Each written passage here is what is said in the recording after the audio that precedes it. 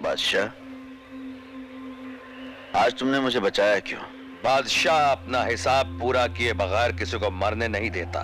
शत्रुघ्न सिन्हा और धर्मेंद्र की दोस्ती से सभी वाकिफ हैं। शत्रु जी उन चंद लोगों में से एक हैं जिन्हें धर्मेंद्र फ़िल्म इंडस्ट्री के सबसे खास दोस्तों में शुमार करते हैं। साल उन्नीस सौ उनहत्तर में आई फ़िल्म प्यार ही प्यार में शत्रु जी ने पहली दफ़ा धर्मेंद्र जी के साथ काम किया था।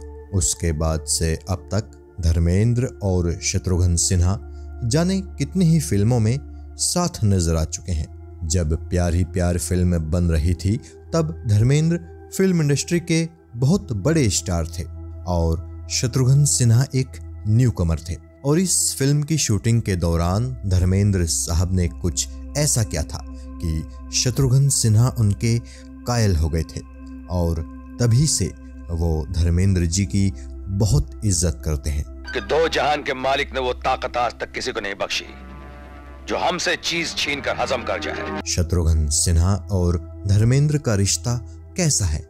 इसके बारे में खुद शत्रु जी ने एक इंटरव्यू में बताया था। और ये इंटरव्यू उन्होंने धर्मेंद्र जी की बायोग्राफी लिखने वाले लेखक राजीव विजयकर को दिया था। और शत्रु जी के इसी इंटरव्यू को हमने अपने शब्दों में कहने का प्रयास किया है। उम्मीद करते हैं कि आपको किस्सा टीवी की ये पेशकश पसंद आएगी। जब तुम आसानी से मुझे मार सकते थे तो बचाया क्यों? मैं कैसे मार देता? जबकि तुमने मेरी जान बचाई है फांसी के फंदे से। उस इंटरव्यू को शुरू करते हुए शत्रुघ्न सिन्हा कहते हैं प्यार ही प्यार में एक छोटा सा सीन था। जिसकी शूटिंग के दौरान मेरी और धर्म जी की पहली दफ़ा मुलाकात हुई थी। प्राण वैजंती माला को ब्लैकमेल करते हैं और मैं प्राण को ब्लैकमेल करता हूँ। उस सीन में मुझे रस्सियों से बांधकर मेरा मुँह भी कपड़े से बाँध दिया जाता है। वो शॉट जब कंप्लीट हुआ तो फ़िल्म यूनिट के लोग मेरे हाथ पैर खोलना भूल गए। उस वक्त धर्मेंद्र जी की नज़र मुझ पर पड़ी। उन्होंने क्रू मेंबर्स से पूछा कि, इस बच्चे को क्यों ऐसे ही बंधा हुआ छोड़ दिया है? कौन था तब मैं? वो एक बहुत बड़े स्टार थे और मैं पता नहीं कहाँ से आया था। उस पूरी फ़िल्म में मेरा कुछ ही मिनटों का रोल था। तब शायद धर्मजी ने भी नहीं सोचा होगा कि मैं भी बड़ा स्टार बनूँगा।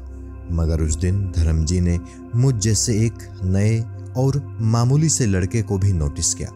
ये बात मुझे बहुत अच्छी लगी। वैसे ये धर्मजी से मेरी पहली मुलाकात नहीं थी। एक दफ़ा वो देवेन वर्मा जी के साथ पुणे फ़िल्म इंस्टीट्यूट में हम स्टूडेंट्स से मिलने आए थे। वो देखने में बहुत शानदार लग रहे थे और मुझे उनके बाल बहुत अच्छे लग रहे थे। जब मुझे उनसे बात करने का मौका मिला तो मैंने उनसे बच्चों जैसा सवाल किया। मैंने पूछा कि, आप बालों में कौन सा तेल लगाते हैं? उन्होंने जवाब दिया कि, मैं बालों में तेल नहीं लगाता हूँ। उस वक्त हम ये सुनते थे कि सभी फ़िल्म स्टार्स संडे को घोड़ों की रेस देखने जाते हैं। मैंने धर्म जी से अगला सवाल यही पूछा कि आप संडे को रेस कोर्स जाते हैं?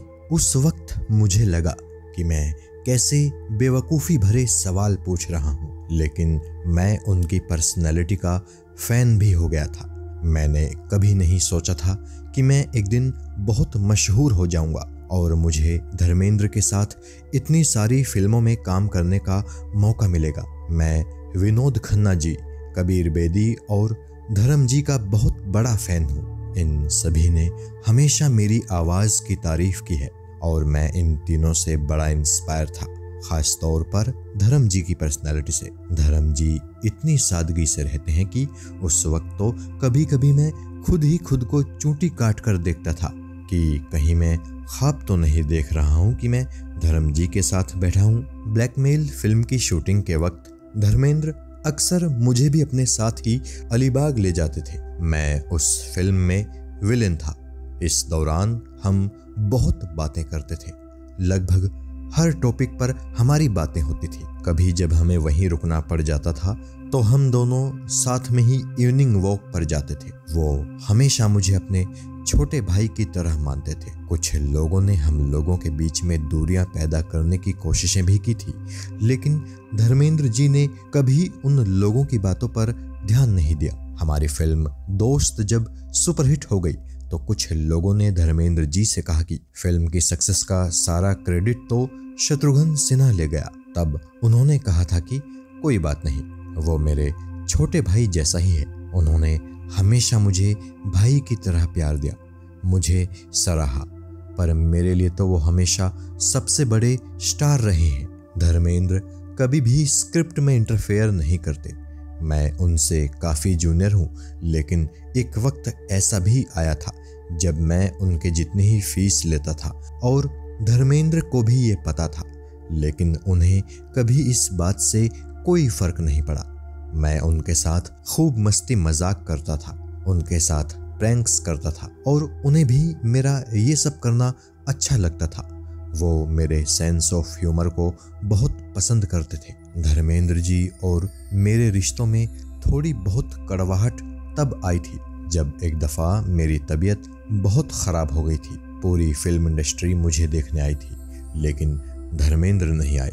उस वक्त कुछ लोगों ने मुझे उनके खिलाफ भड़काने की कोशिश की थी। मुझे भी थोड़ा बुरा लगा था, मगर बाद में मुझे पता चला कि धर्मेंद्र किसी पर्सनल इशू की वजह से काफ़ी अपसेट थे और कनाडा चले गए थे। मैंने और धर्म जी ने कई सारी फ़िल्मों में साथ काम किया है।